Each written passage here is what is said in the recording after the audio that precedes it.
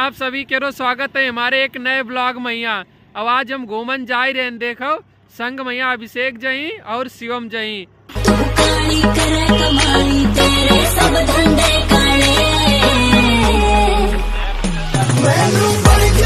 तो। गाइस हम फाइनली गोमती नदी के किनारे पहुँच चुके हैं। और हम शिवम पाठक आए थे लेकिन पाठक आगे चले गए गाड़ी हो गई रहा पिंचर। इसीलिए दो किलोमीटर से पैदल आए न। बहुत पाए फिरान लागे हैं। ब्लॉगिंग के चक्कर में यहाँ पता नहीं कहाँ कहाँ घूमना पते लेकिन हमका घूमे में बहुत मज़ा आवत करे इसीलिए हम घूमते हैं। इसीलिए हमने ब्लॉगिंग स्टार्ट करी, ताकि कोई थोड़ा बहुत नॉलेज वगैरह इकट्ठा कर सके साथ साथ ब्लॉगिंग हुई जाए। और देखो, गोमती किनारे के व्यू कत्तो बढ़िया है। जहाँ तक आपकी नज़र जाई, बहुत सुंदर सुंदर दृश्य दिख रहे हैं हमका अब जा रहे चढ़ाई परन लगी है। देखो पीछे जहाँ तक नज़र जाई, गोमती गोमती दिख रही है। कितो सुंदर व्यू लगी रहो है हमका तो बहुत अच्छो लगत करे, नदी, पहाड़, पर्वत और पठार वगैरह पर जाए करे तो करे दिल खुश हो जात करे। पीछे देखो अरे, प्राकृति है। बहुत एकदम मनोरम लगी रहो है यही देखो शैतान पाठक। जाई रहे, वीडियो में आए नहीं रहे। आ जाओ पाठक। ए पाठक। हम इन पर पाठक कह दिए थे बड़े नाराज़ हुई जाते। यहाँ पर एक दादा मिले इनसे पूछो गोमती के रे बारे में यहाँ। दादा गोमती नदी यहाँ बहुत पुराने समय से निकली है ना? फ़िलहाल हमारी याददाश्त से तो हम बराबर आ जा रहे हैं तो यही कंडीशन देख रहे हैं। ऐसे ही नदी है यार? यही कंडीशन देख रहे पहले पुराने समय यहाँ पुल वगैरह ना हुई है? हाँ पुराने समय में मतलब ये सन चौरासी में शायद सुनने में आया क्लियर तो नहीं बोल सकते हैं आप। हाँ। लेकिन जो सुनने में आया है ये सन दो हज़ार सन उन्नीस सौ चौरासी में ये पुल का निर्माण हुआ उन्नीस सौ चौरासी में पुल का निर्माण हुआ। पहले शायद नाव से आवागमन करते होंगे। हाँ हाँ पहले जो लोग ग्रामीण लोग थे क्षेत्र हाँ। ये गोपमू जाने के लिए यहाँ से ये नाव का जो है इस्तेमाल करते हैं नाव से जाना आना उनका रहता है। अप डाउन उनका नाव द्वारा होता है दादा का बहुत बहुत धन्यवाद क्योंकि इन्होंने हमको जानकारी दी।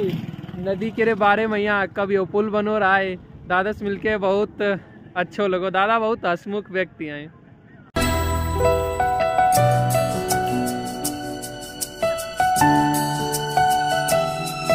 अब पुल के रे नीचे जा ही रहे हैं और देखियो पुल के नीचे के रो का दृश्य है देखो कितनी चढ़ाई जैसी लग रही है वाह नीचे तो बहुत ही बढ़िया लगी रहो है बहुत रोमांटिक दृश्य एकदम लगी रहो है देखो पुल के नीचे लोग नेरे का का लिखो हनी माँ दिवालन का जे लिख लिख पोत धोनी और देख सकते हो का आर्किटेक्चर है पुल के नीचे के रोइयो कितनी मजबूती से रही है पुल वगैरह बनाए जाते हैं। इसीलिए सौ, दो दो सौ साल चलती करे हैं। देखो, कतई हम नज़दीक आए गए बहुत, बिल्कुल मोम जैसो पानी है गोमती मैया। कतई नदी के रे समीप खड़े हैं बहुत अच्छा लग रहा है यहाँ पर।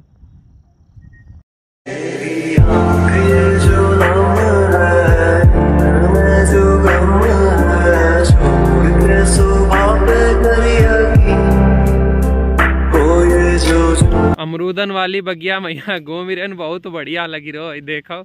इनके बड़ी बालुई मिट्टी है वही में मारी पाँच सौन जात मोटरसाइकिल बैठ जात चलना है पावत हमें दुई लग अमरूद दिखे हैं अबे अमरूद खैबे के लिए कोशिश करियो ढूंढ ली। देर बाद ही एक अमरूद दिखो है, लेकिन वाह बहुत दूर है कच्चो लगी रहो है अब डुड़वे के लिए कोशिश करे, नहीं दे लगे हैं, लेकिन बहुत दूर है हमका मिलवे ना करी आथन बेरे जय देखो लगे कत्ते अमरूद पे इनका।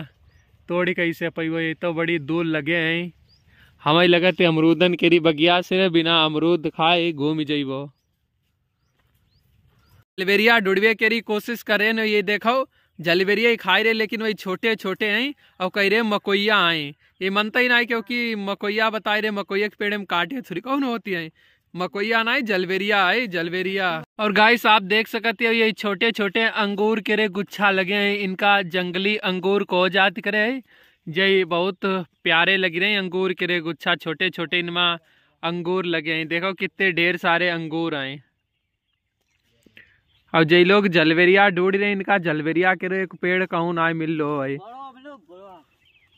जलवेरिया के रे चक्कर मैया ये पता ना कहाँ कांटे खोबरे न मैया हमका उतारे देती आई और कांटो लगो आई गोड़े मैया देखो कहाँ हमारी गड्ढा गुड्डी मैया कहती जलबेरिया आज खाई के रे जइबो पता ना कत्ते भूखे घसे आए जलबेरिया खइबे के रे देख ले पहले।